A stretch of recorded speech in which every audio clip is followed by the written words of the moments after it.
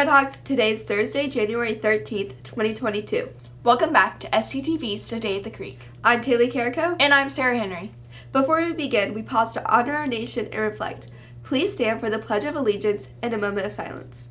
I pledge allegiance to the flag of the United States of America and to the republic for which it stands, one nation, under God, indivisible, with liberty and justice for all. Hey Redhawks, I'm Diane Hoskins, and today's motivation is today is your opportunity to build the tomorrow you want. This is basically stating that today's actions determine the rest of your life. FCA will be meeting every Tuesday at 7:45 a.m. in the lecture hall. Text Creek FCA 20 to 81010 to have access to the hall pass and to join their Remind group. Attention seniors, please complete your yearbook information by this Friday. Click on the QR code on the screen for more information. And now for the Stewart's Creek Sports Report with Morgan and weather with Alex. This is Morgan Vanderbilt with SCTV Sports. January 13th, there's girls bowling, the sectional finals at the Smyrna Bowling Center. Also on January 13th, there's varsity swimming, there's a last chance meet, and it's also a senior night at Smyrna High.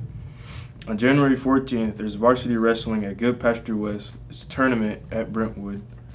On January 14th, there's girls, girls varsity basketball, uh, More Than a Dream showcase at Barlow High School. Hello, Red Hawks. My name is Alex Tompkins. The weather for Friday will have a high of 44 with a low of 30, 34 and partly cloudy. The weather for Saturday will have a high of 45 with a low of 34 and expected showers. The weather for Sunday will have a high of 37 with a low of 25 and expected rain and snow. Now back to Sarah and Taylor. Hey seniors, SCTV has begun working on the class of 2022 slideshow. Please email your pictures to stewartscreektv at gmail.com if you want to get your photos in the show. SCTV would like to congratulate the SCHS JROTC rifle team, who qualified for Army Nationals again in 2022. And here's today's ACT word of the day with Christy. Hello Redhawks, I'm Christy with your ACT word of the day. Today's word is exploit, which means make full use of and derive benefit from. An example sentence is, he has never really fully exploited his talents. Now back to Taylor and Sarah. Coming home is next week. Students, you will be able to vote through your student email. The Crochet Club meets in Coach Jordan's room on Wednesday at 7.45 a.m. You must get a pass to attend these meetings. See Coach Jordan for more information. Now here's Cade with the day in history for January 13th. Hey Redhawks, this is today in history for January 13th. In 1966, the U.S. military tests bombs at the Nevada test site. In 1999, Michael Jordan announces his second retirement prior to the 1988 through 1999 NBA season. And lastly, in 1992, American serial killer Jeffrey Dahmer pleads guilty. If you missed track tryouts, makeup tryouts will be held on Tuesday, January 18th at the track.